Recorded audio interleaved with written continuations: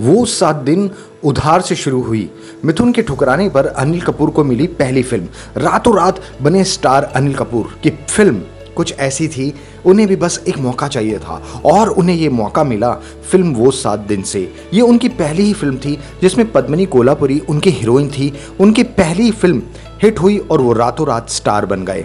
कमाल की बात यह है कि फ़िल्म में उन्हें रातों रात स्टार तो बनाए ही, फ़िल्म पहले से ही उनके नसीब में नहीं थी। अनिल कपूर का इस फ़िल्म के साथ कोई नाम नहीं जुड़ा हुआ था। मीडिया रिपोर्ट्स के अनुसार अनिल कपूर ने जिस किरदार को निभाया, उसके लिए बोनी कपूर ने किसी अन्य स्टार को पसंद किया था। लेकिन हालात ऐसे बन गए कि बोनी कपूर को एन मौके पर अनिल कपूर को लेकर फ़िल्म बनानी पड़ी। फ़िल्म में अनिल कपूर ने प्रेम प्रताप पटियाले वाले का किरदार निभाया, जो यादगार बन गया। उनकी पहली फ़िल्म मील का पत्थर साबित हुई। बस भैया, फिर क्या था? इस फ़िल्म के बाद अनिल कपूर ने कभी भी पीछे मुड़कर नहीं देखा।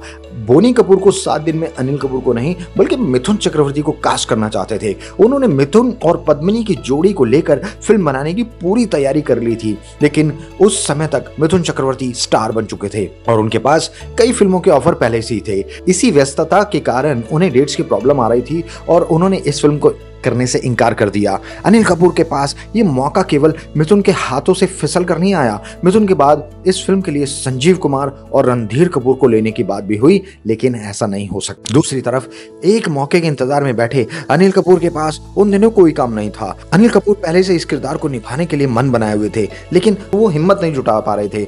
कि वो अपने बड़े भाई से कैसे कहें कि मुझे आप हीरो बना दो। लेकिन मिथुन के ऑफ़र ठुकराने के बाद बोनी कपूर ने डायरेक्टर बापू से बात की और फ़िल्म में अनिल कपूर को कास्ट कर लिया।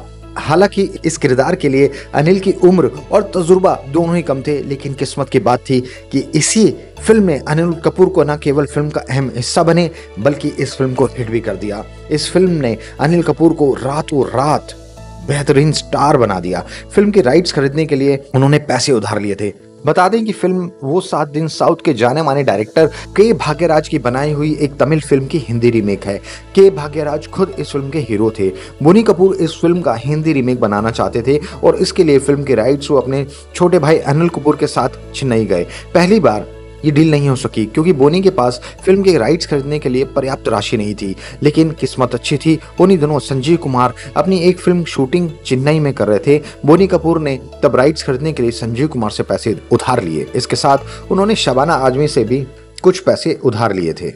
ऐसे ही और रोचक फिल्मी कहानियों को सुनने के लिए हमारे चैनल को सब्सक्राइब करना मत भूलें।